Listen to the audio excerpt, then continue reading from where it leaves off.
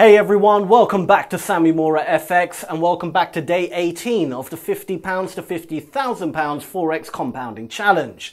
So today I have finished trading and I managed to close just under 7%. Um, I think it was like 6.8%, so 6.8%. So another pretty decent day, right? Um, today was actually quite an interesting one. It was one of the first days I didn't use BSB zones. And the reason for that was simply there just wasn't a BSB zone to trade. Okay, there was one, there wasn't one available. However, I did have a strong bias that we were going to be bullish today, and obviously the bias turned out to be correct. So I knew I wanted to buy, and I was basically picking any good opportunity I could see to buy based again on delta volume. Okay, so delta volume and using the trap setup. All right. So you're going to see a few interesting trades. Um, really not much more to say. However, there was one part where you will see how the sellers really tried to push the market down and absolutely failed in the process. And the buyers almost immediately, with almost hardly any aggression, were able to push the market up. Clear cut sign that we are not breaking below that level for the rest of the day. So let's go to the chart and let me show you how I did today. Okay, so I finished trading for today. I actually finished quite a while ago, uh, but I had to do a few things, so I couldn't um, record right off the bat. But if we go back to where I started trading, so today I finished, closed it just under 7%.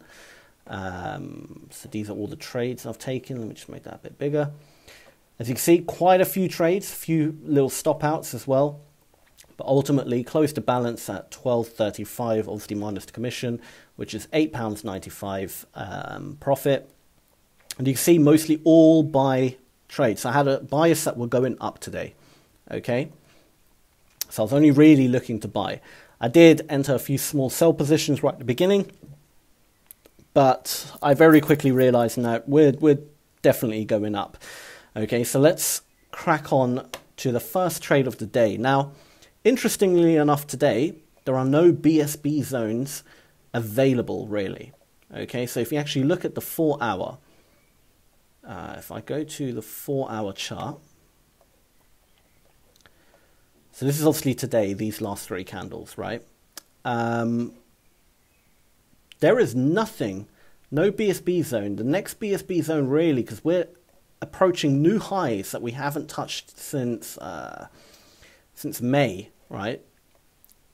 There's there's really not much, you know, for not much to reject at the moment, if that makes sense, for it to start coming down. So that really gave me, okay, we're going to go to this BSB zone here, and this long downward trend, right? There's a clear BSB zone. Once that, once we reach there, it's not going to reach it today, I don't think. Um, but once we reach there, yes, we'll be looking to short the market. But in the last recent price action, we've been going up. I think it's going to continue going up until we get to that area there. But this is a long, a big zone. You know, this is probably how many pips are we talking here? Let's just do a quick measurement. Um, yeah, this is like 200 pips. Do you know what I mean? So it's a huge zone. But around this area here, we'll be looking to go down. But it's not going to do it today. Okay, so my bias was to buy. Now, I did. Uh, where is the first trade? So it was actually a sell trade. Oh, yeah, here. Okay, my bad. So these are the first trades I took. I tested the market. I saw that, okay, this could be a potential trap setup, higher delta, and it was going red this candle. And you see the sellers are stepping in. So I entered, but I only entered one position because I wasn't that confident, okay?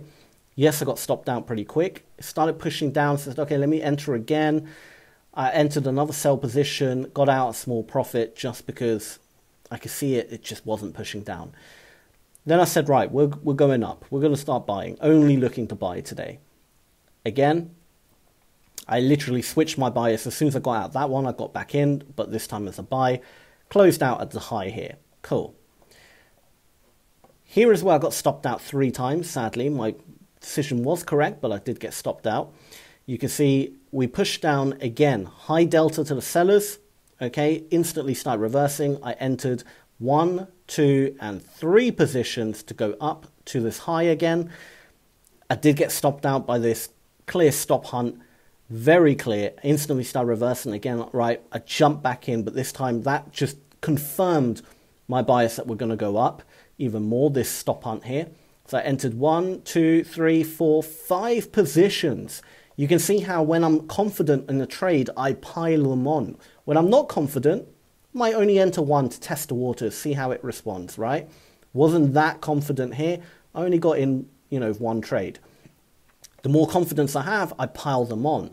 All right, five trades, boom, boom, boom, boom, as we went up, got out at the high, consolidate for a bit, and then look at these sellers stepping in. Now, I thought this is another clear trap, so I got in for a buy, got stopped out, got in for a buy again, got stopped out, got in for a buy again, got stopped out.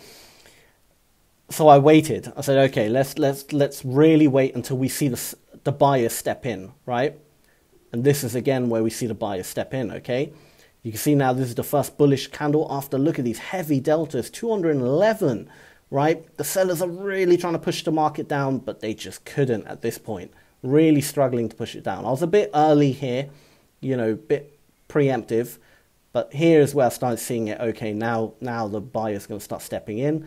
Again, they tried to push it down one more pot, one more time. I bought again. Again, I bought again. Three positions piled up.